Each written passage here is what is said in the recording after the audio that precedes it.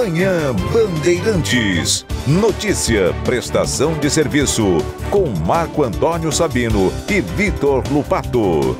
Agora no ar.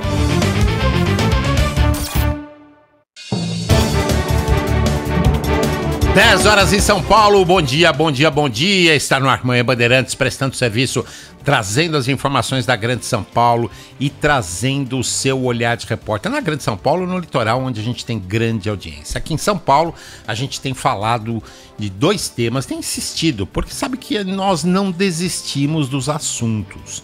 Nós insistimos, insistimos até que as autoridades nos respondam. Ontem nós cobrávamos a CT e a Secretaria Municipal da Subprefeitura sobre duas questões. A questão do piso dos túneis de São Paulo, pisos esses que são de concretos e de concreto e estão é, cheios de buracos ou farelos de concreto, e também a questão da sinalização das vias depois do recapeamento. Então vamos falar das duas aqui porque chegaram as respostas da prefeitura. Primeiro, no que diz respeito ao piso dos túneis. Vamos lá, a secretaria diz o seguinte: é, que foram priorizados os túneis, os túneis que precisavam de, res, de reparos nos pontos mais críticos. Isso numa primeira intervenção. Diz a nota, sobretudo em alguns lugares onde nunca tinha sido realizado obras de manutenção desde a inauguração. Cabe esclarecer que o piso é construído por placas em módulos. Quando se executa esse trabalho após a concretagem, ocorre uma acomodação das placas onde ocorreu a intervenção.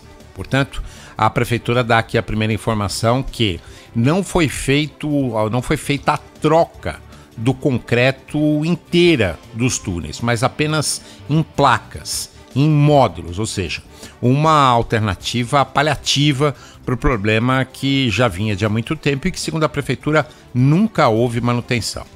Essas placas, segundo a prefeitura, essa acomodação, recebe a carga produzida pelo tráfego e somada à presença da água do lençol freático. E isso faz surgir fissuras nas placas que pode ocasionar a perda da resistência e posteriormente o aparecimento do que eles chamam de patologias no Congresso, os famosos buracos e rachaduras, né? que apesar de não serem buracos profundos, estragam roda e furam pneu da mesma forma.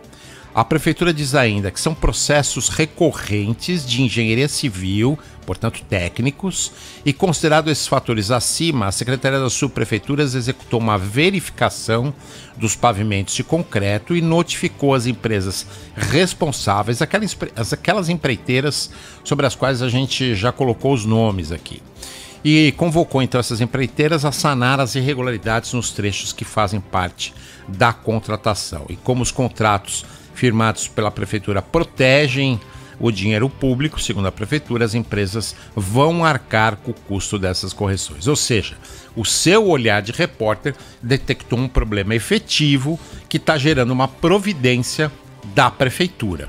É assim mesmo. Você traz a, a questão para a gente e nós vamos atrás. Agora, no que diz respeito à sinalização em uh, vias que foram recentemente recapeadas. A prefeitura respondeu via por via. Olha só, então vamos lá. Segundo eles, a Paulista, a Pacaembu e a rua Professor Vaia de Abreu na Vila Olímpia ainda estão com serviços de recapeamento em execução.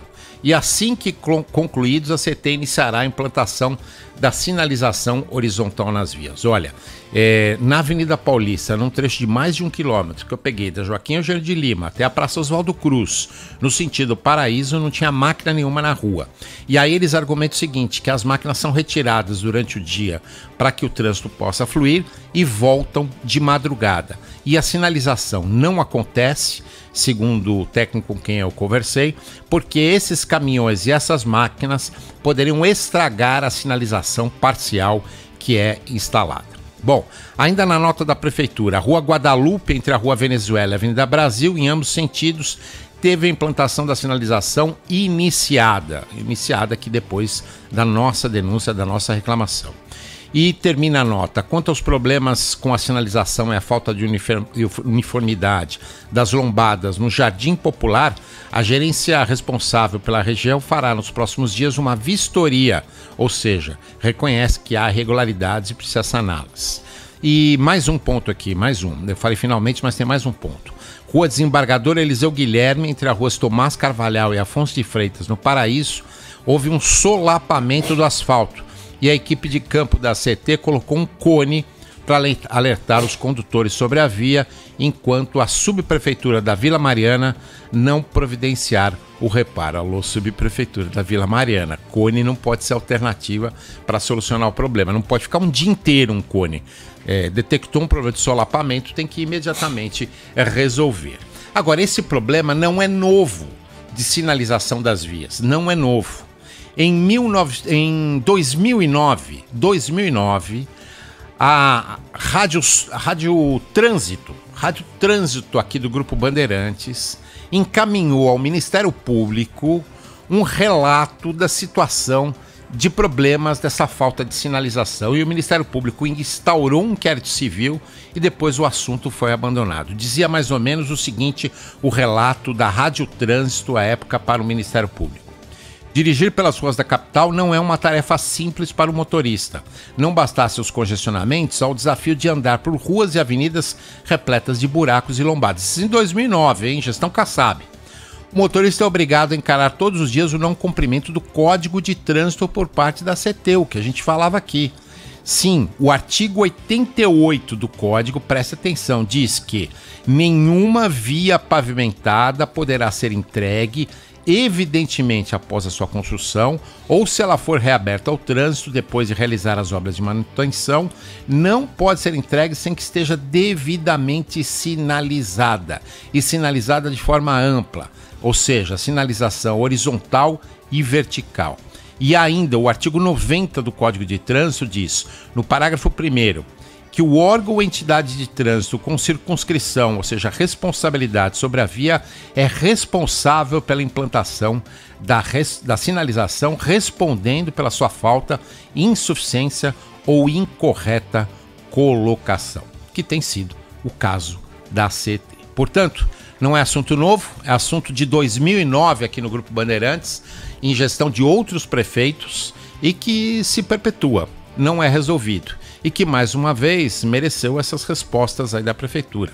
Você pode concordar ou não com as respostas, mas aqui a gente sempre traz os dois lados da notícia, a gente sempre traz as explicações das autoridades e você faz o seu julgamento, não só sobre o piso dos túneis que estão esfarelando, até porque em algum momento provisoriamente eles são feitos de cimento, e essa é uma informação que o técnico me deu, e não de concreto, de cimento e não de. Imagina um caminhão passar num piso de cimento. Esfarela tudo mesmo. E no que diz respeito à sinalização das ruas e avenidas depois de serem recapeadas. 10 horas e 8 minutos, tá aí, assunto respondido para os nossos ouvintes, mal ou bem respondidos, não importa, mas estão respondidos. Aliás, sobre